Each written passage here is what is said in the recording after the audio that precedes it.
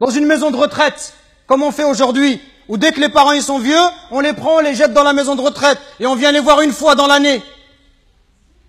Et tout le reste de l'année, on s'occupe pas d'eux. Non, Allah il te dit, s'ils atteignent la vieillesse, auprès de toi. Quand tes parents ils sont âgés, ils restent chez toi. Parce que quand tu étais petit, ils t'ont pas envoyé dans une pension, ils t'ont gardé chez eux, et ils sont occupés de toi. S'ils atteignent la vieillesse, ne leur fait point fi, ne leur dit pas ça, juste le fait de dire mes frères et sœurs. Comprenez bien ce qu'Allah nous demande. Le simple fait de dire à son père, ça c'est interdit. Que dire de celui qui se plaint et qui dit à son père ou à sa mère, tu comprends rien, mais c'est toujours pareil avec toi, mais ceci, mais cela. Allah il t'a interdit de juste dire et ne les brusque pas, mais adresse-leur des paroles respectueuses. Et par miséricorde, abaisse pour eux l'aile de l'humilité et dit, invoque pour tes parents, ô mon Seigneur, fais-leur à tout de miséricorde, comme ils m'ont élevé tout petit. Et il n'y a que lorsque tu seras toi-même un père de famille, ou lorsque tu seras ma sœur, une maman, que tu vas comprendre la valeur de ta mère et de ton père.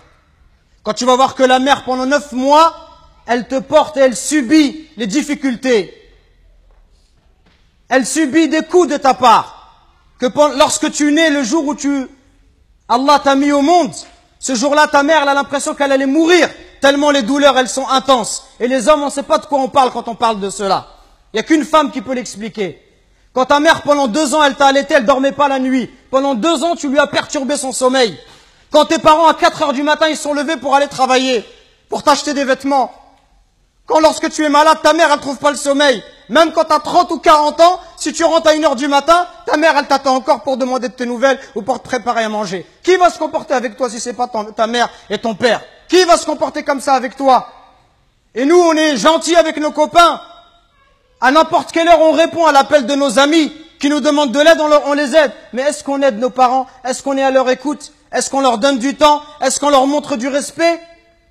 Les anciens, ils disaient, Zayd al-Abidin, le petit-fils de Ali ibn Abi Talib, il disait, on lui disait, toi, tu es quelqu'un de, de très bon avec tes parents, pourquoi tu manges jamais avec ta mère? Il dit, parce que j'ai peur, si ma mère, elle voit dans l'assiette quelque chose qu'elle a envie de prendre, et si je le prends avant elle, j'ai peur qu'Allah, il compte cela comme la désobéissance. Et il disait rien d'étonnant cela. Il disait, ceux qui ont vécu avant nous, ils considéraient comme un manque de respect envers les parents que d'habiter au premier étage et que de laisser habiter les parents au rez-de-chaussée. Regardez jusqu'où ça allait. Allahu Akbar le simple fait d'être au-dessus de sa mère, au premier étage sa mère, au rez-de-chaussée, il considérait ça comme un manque de respect.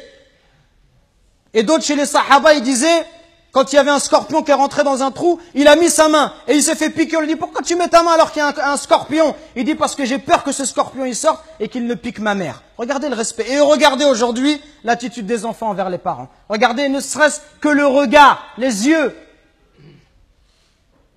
Wallahi mes frères, si nos parents, ils invoquent contre nous, Wallahi, c'est, c'est pour nous le malheur dans la vie d'ici-bas et dans celle de l'au-delà. Allah Azza wa par l'intermédiaire du prophète, il nous dit qu'Allah, il a interdit le paradis.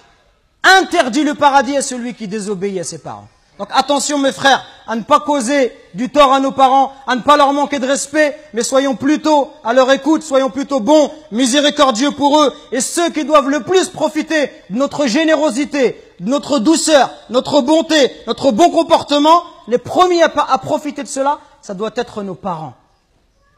Parce que viendra un jour où ils vont partir, et le jour où ils vont partir, tu vas regretter. Et tu vas dire, ah, si je pouvais encore faire du khair à mon père, si je pouvais encore faire du khair à ma mère.